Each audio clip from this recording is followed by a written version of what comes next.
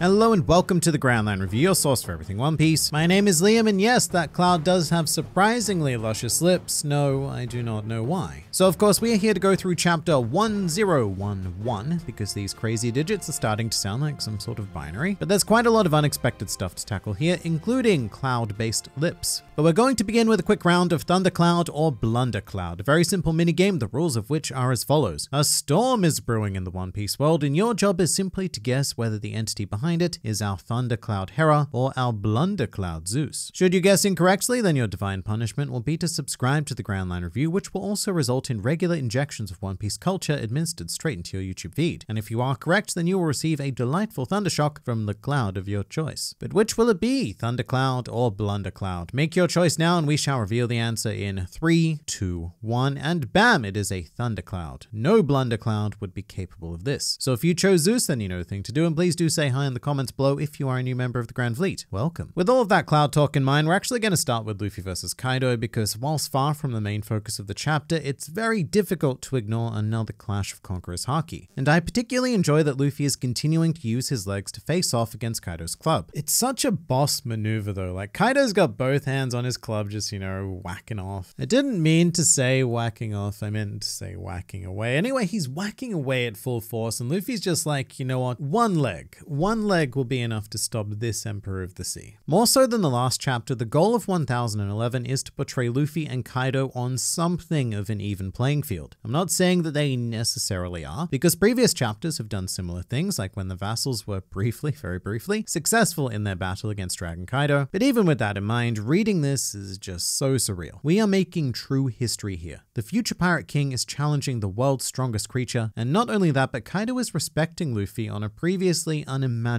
level, because that seems to be how Kaido works. Typically, One Piece villains get more flustered and frustrated as the fight goes on, and Luffy gradually overwhelms them, but Kaido seems to be the exact opposite. He gets incredibly frustrated when opponents can't match him. So the longer this fight goes on, he's actually slipping into a more casual mindset of just, you know, having fun. It very much mirrors Luffy's capacity to smile demonically in the worst of situations quite well, and weirdly enough, Kaido isn't even the only emperor to mirror Luffy in 1011, but before we get to that, I just want to address Advanced Conqueror's Haki in general. I have noticed that after the review last week, reactions to this concept were very, very mixed. Less so that it exists and more so that Luffy mastered it seemingly immediately. And I will say that it, it did seem a bit sudden and a little bit out of nowhere. And I would say that the execution and overall wow factor probably could have been done a bit better. So I see where that side of the argument is coming from, especially since we spent so, so long acquiring Future Sight and Advanced Armament. So to have this series changing skill being seemingly acquired within a couple of pages, yeah, sure, it can be a bit jarring. Personally, for me, I have to say that it works well enough because to truly understand this, Luffy had to be hit by Kaido twice, and that sort of experience is just far more brutal than days of training or even hours of combat against a Mochi man. And to me, it also really pays off that Act 1 defeat. After that moment, Luffy spent pretty much the rest of this arc analyzing that defeat, so him finally arriving at an answer here is pretty satisfying for me. And it also incorporates that theme of One Piece fate, you know, by one-shotting Luffy Kaido may very well have opened the gates to his own downfall. It's just, it's very One Piece. So I quite like it, but I do get where the other side is coming from. But elsewhere, Kid and Killer command quite a large focus during this chapter, as our worst generation dream team is all but entirely fractured and split up. And the main point of interest I have with Kid and Killer is the impending conflict with Basil Hawkins. I mean, specifically Killer's matchup, I suppose. And at the outset, it doesn't seem like a bad match at all. Straw versus Blades, huh? Well, my 31 years of life experience tells me that this situation will rarely work out in favor of the straw. Hawkins seems confident enough, though, and he's made another bold prediction, being that Killer has a staggering 92% chance of a bit of the old death, which is, yes, uncomfortably high. But this has made me realize something about Hawkins, something I think I've been thinking about the wrong way. Throughout the entirety of Wano, because he appeared very early on, I've been anticipating a moment where Hawkins' cards will tell him that the chances of victory victory are now in Luffy's favor, and then he'll switch sides because, you know, he's a bit of a submissive to Mistress Fate. But I'm beginning to think it might be quite the opposite though. Because let's say that Killer does have a 92% chance of death, and let's say that Luffy is the person he claimed to have a 1% chance of surviving the night. Wouldn't it be quite something to have those predictions stand, and then to have everyone succeed regardless? To show Hawkins that even a 1% probability cannot be disregarded. Because I think that's what Killer is getting at here. Become the master of your own future. Don't let a greater force tell you how to live. So as much as I would like Hawkins to jump ship and ally up with us, his entire character really does serve as a bit of a brilliant foil for the beliefs of Luffy, Killer, Kid, and everyone currently fighting to bring down Kaido. Also in 1011, Hawkins is seen using his big straw boy form, which we have not seen since Sabaody, and now I always forget what this is called, so I had to look it up. It has weirdly different translations. In the Viz manga, it's called Demon Face, but in the Funimation subs, it's called Demon Conquering Phase. Phase, not face. And I think that in this case, the subs are probably more accurate because this was a bit of a weird error for Viz. But it doesn't matter because I sure as hell do not remember these creepy spider leg things. What is with the, the, the straw spider leg things? I mean, I, I live in Australia and this creeps me out. It's a pretty promising matchup though. You can never complain with a fight between two worst generation members, although having just stated my whole idea about defying the odds, hurrah, I still have a very bad feeling in regards to Killer. With all due respect to Mr. Killer, he just doesn't seem quite uh, important enough to bring down Hawkins, so we'll see what happens. But that leaves Eustass Captain Kid theoretically taking on Big Mom alone, an idea which I still believe is so poorly thought out, not necessarily by Oda, but by the character of Kid specifically. Luckily, the situation is a little bit more complicated than a simple one versus one. Which brings us to the star of the chapter, one Charlotte Linlin. Big Mom had another one of her rare humanizing moments in 1011, which was obviously her interaction with Tama. And it was beyond adorable because the Olin mindset popped up and there was some very intriguing character stuff to delve into here. Firstly, I really like that Big Mom thanked Tama for looking after her during the whole amnesia incident, and it's cool to know that she does remember her time as Olin. But more importantly, this looks like it might finally be starting to pay off a couple of painstakingly set up plot threads, amnesia being one of them, and that, that was a very controversial part of Wano. So many people hated the whole amnesia thing, especially after Big Mom regained her memories with no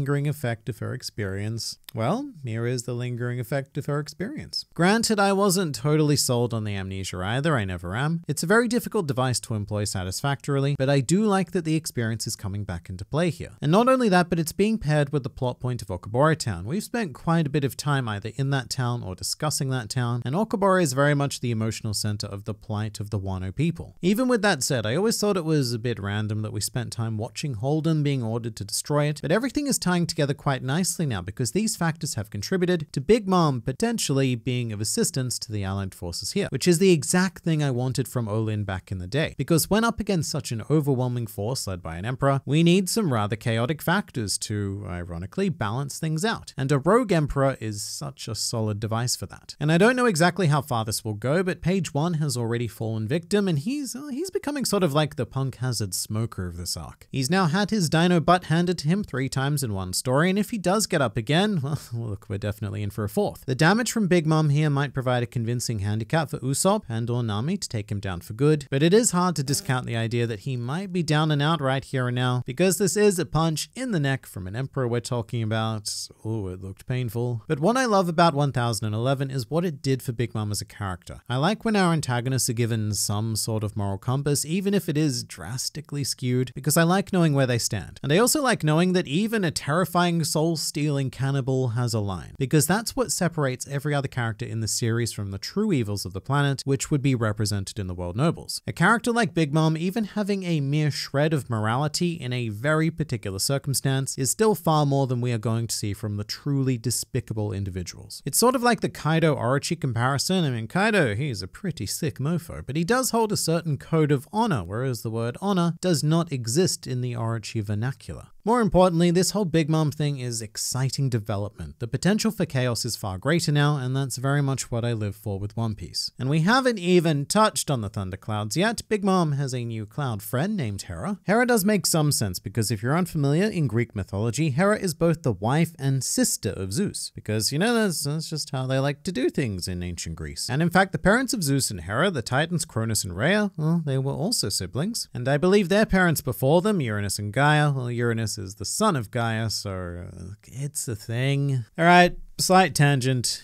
Greek mythology is so weird. So the big thing about Cronus is that he used to eat his own children. Rhea would present him with a baby and he'd just go like, om nom nom, mm, that's some tasty baby. And it took like, what, like five babies before Rhea decided, huh, you know what, maybe it's not a good idea to give my children to Cronus. So instead she wrapped a rock in a blanket, Cronus ate it, he went om nom nom tasty baby as per usual because he's a moron. Because that is the moral of every story in Greek mythology. The gods are morons. Anyway, tangent over, I was not expecting Hera. With the new cloud, I was thinking that Oda might use the comparatively newer Roman copy thunder god Jupiter, but eh, Hera works. And there's this really awkward moment at the end of the chapter where Zeus finds Big Mom, and I am not looking forward to seeing how this plays out. I think that this happy little cloud is in for some heartbreak upon learning that he has been replaced. Luckily, all Zeus needs to do is run right into the arms of Nami, who happens to be conveniently right there, and all will be well. There seems to be a really good potential setup for Zeus to permanently be joining Nami, and I suppose by extension, the Straw Hats. And then maybe Nami and Big Mom could even have some sort of thunder off, because let's be real, the only one who can really match Big Mom's raw power output is Nami with Zeus and the Clima-Tact, so just make it happen. The only one who isn't Kaido, I mean. Oh, and one more thing we haven't mentioned about Big Mom yet, there was a very sweet flashback to her time in Okobore Town, but seeing the tiny bowl of Oshiruko was great because it draws immediate parallels to Luffy's experience with Tama, where she gave him that one bowl of rice, which, whilst not much, was extraordinarily precious to her, just like this one bowl of Oshiruko is incredibly precious to a town that is literally starving to death en masse. And Big Mom had the same reaction that Luffy did, which was raw gratitude. It wasn't enough to fill my stomach, but thank you for sharing this with me. And in that way, it's hard not to root for Big Mom in this situation, at least for me, because it's a direct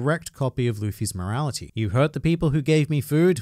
Well, this is not going to end well for you. So I'm delightfully conflicted here, but very glad that all the time we've spent setting up this stuff on Wano is finally starting to tie together. And even better, what we're using to tie everything together is the very first human character that Luffy met. The seemingly most insignificant part of the arc is now converting an entire Emperor's army into allies, as well as now potentially even another Emperor. Tama is everything, and don't you forget it. Also, very sneaky thing inserted into this chapter, which is Usopp very casually confirming that Tama's dumpling related abilities only work on smile users. Although his statement is factually incorrect because he says if those millet dumplings only worked on anything but smile users. And in fact, they do work on something else, a lot of something else's actually. I believe we call them animals because they seemingly work on every animal like Hihimaru the baboon. And look, that's an incredibly small nitpick, but either the translation is a bit weird here or Usopp was written by Oda deliberately to be incorrect. Whatever the case, they both result in the readers receiving the wrong impression, so I don't know. Sadly though, the ultimate meaning here is that Tama's abilities will not work on traditional Zoan users, which does make sense, because then this raid, well, it would become far too easy. Plan would just become to have shoot a dumpling into Kaido, and then we're all good. But sadly, this does crush my dreams of an ally ulti in very much the same way that Big Mom crushed the windpipe of page 1. Alright, let's talk about this color spread now, because it's pretty peak One Piece. Some of the most enjoyable art in the entire series comes from Oda just taking the Straw Hats and putting them in these absurdist situations on color spreads. Like this one, where the whole crew is framed by a gigantic Nami and everyone's doing fun stuff like swimming in drinks. Shout out to Robin, Jinbei, and Usopp there, they look pretty amazing. And there's something really nice and calming about seeing stuff like this, because this is one of the weird things about One Piece, but we very rarely get to see the crew just, you know, enjoying themselves. A little bit of it happens right at the beginning and right at the end of the arcs, but other than that, the opportunities for levity are really only present in external media like the color spreads. And the words only add to that the whole, it's difficult to think anything but pleasant thoughts while eating, is most of Luffy's worldview summarized into a single sentence. Chopper's as well, and in fact everyone's, even Brooks, whose ability to eat is, I'm going to say questionable. So I love the imagination that went into constructing this, but also I'm still not used to seeing Jinbei as a crew member in this sort of context, the fun context that is, so art like this is always welcome and greatly appreciated. Oh, and also very quickly, this week was also a special cover for Weekly Shonen Jump featuring a collection of main characters, and special covers like this, uh, honestly, they usually mean pretty bad things for us, because One Piece will be on break next week, as well as every other series due to Golden Week. However, there is a very fun thing here, because Luffy is holding a lamp, and Brook's soul is emerging from it with a very genie-like effect. And I have nothing more to say about this, I just thought it was fun, and that you should know about it if you don't already. And not only that, but there's even more specialness to be had this week, because we we've begun the rollout of the finalized World Top 100 character poll results. And in case you're unaware, this was a globally conducted poll where you could vote online for a character every day. It was open for two months, and alongside this chapter, we were treated to the first batch of results being the characters who ranked between 151st and 200th place. And if that sounds like a pretty pitiful ranking, just remember that there were well over 1,000 characters to vote for, so even the ones who landed here have done pretty damn well for themselves. So that includes Portgas D Rouge, who barely made it into the results in 200th place, but there are some very surprising results in here. Characters you may not have expected to rank so low, such as Sengoku in 167th place. That is kind of mind boggling, especially since he was defeated by such illustrious existences as Spandam and Hiking Bear in 163rd and 159th place, respectively. You'll also find quite a lot of Wano characters amongst this batch, like Black Maria, Yasu, Speed, Momonosuke, Toko, Toki, actually, and even Babanuki, all of which I imagine may have ranked a lot lower if they weren't currently relevant to some degree. Oh, and one other surprise would be Capone Gang Bege in 158th place. I don't know, I just, I guess I thought he'd do a bit better than that, but what can you do? According to the magazine, the next batch of results are going to be announced on Twitter, so that's 150 to 100th place, and then the top 100 are going to be announced on the official One Piece YouTube channel, with the results concluding on the 5th of May, which, fun fact, is Luffy's birthday. So we'll see if he can top yet another character poll, and also, I am very, very keen to see where Whoop Slap landed. But to examine some details in One Piece you may have missed, give this video a good old click, which examines some pretty wild stuff, such as Sabo's first potential appearance all the way back in Logtown. Very intriguing, so I look forward to seeing you there.